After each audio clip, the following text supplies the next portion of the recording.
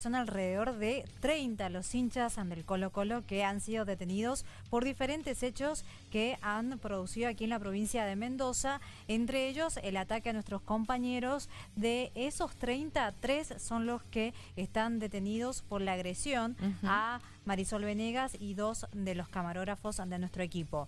¿Quiénes son estas tres personas? Daniel Alejandro Maulén, de 29 años, su hermano Ignacio Baltasar Maulén, de 23, y Mauricio eh, Herbert Molina, de 24 años, son los que eh, fueron detenidos a causa de la agresión a nuestros compañeros durante este mediodía.